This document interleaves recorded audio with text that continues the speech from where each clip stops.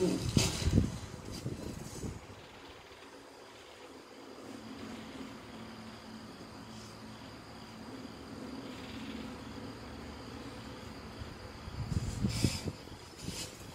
to be ashamed of yourself.